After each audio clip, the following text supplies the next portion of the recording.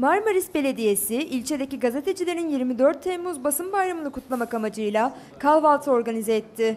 Kahvaltıya basın ve halkla ilişkiler birimi sorumlularıyla birlikte katılan Marmaris Belediye Başkanı Mehmet Oktay, medya mensubu konuklarını kapıda karşıladı. Kahvaltının ardından Başkan Mehmet Oktay, günün önemine dair konuştu. 24 Temmuz'un basından sansürün kaldırılışının yanı sıra Lozan Anlaşması'nın imzalanmasının da yıl dönümü olduğunu hatırlattı.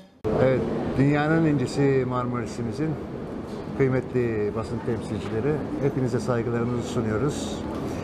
İkinci meşrutiyetin ilanıyla birlikte sansürün kaldırılması vesilesiyle hepinizin Dünya Özgür Basın Günü'nü kutluyorum. Bununla birlikte 24 Temmuz aynı zamanda Türkiye Cumhuriyetimizin de bir yerde tapusu olarak ifade edilen Lozan Antlaşması'nın da imzalandığı gün. Bu anlamda başta Ulu Önder Mustafa Kemal Atatürk ve bu antlaşmanın yapılmasını sağlayan İsmet İnönü ve silah arkadaşlarını da saygıyla, minnetle anılarını ifade etmek istiyorum.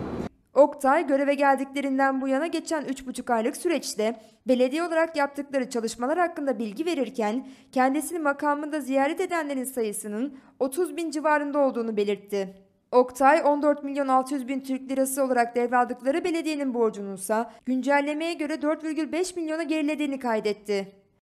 Değerli arkadaşlar, yaklaşık olarak 3,5 ayı görev süremizde geride bırakmış bulunmaktayız.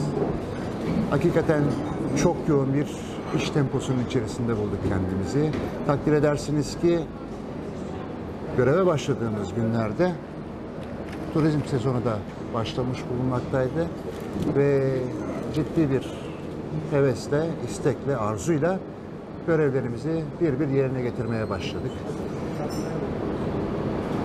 Bu görevlerimizi yerine getirirken şöyle de bir durum oldu. Yeni de olmamız itibariyle sizlere abartmadan ifade etmek istiyorum ki 30 bin civarında sadece şahsıma belediyedeki mevcut makamımızda ziyaret gerçekleştirildi.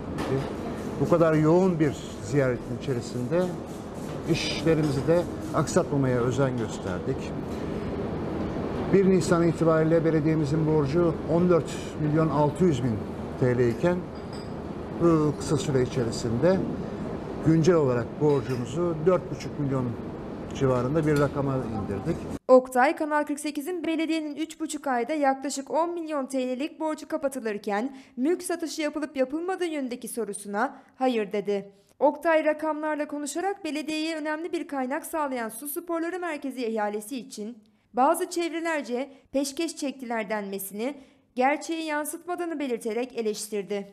Bununla ilgili herhangi bir mülk satışımız olmadı. Biz sadece belediyemizin hali hazırdaki gelir kaynaklarını elimizdeki imkanlar içerisinde doğru kullanmaya özen gösterdik.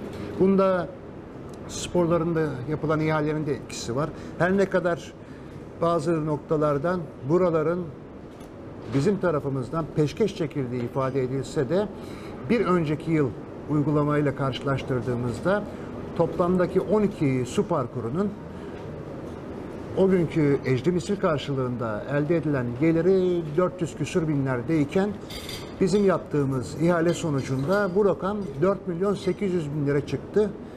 Bu nasıl peşkeştir?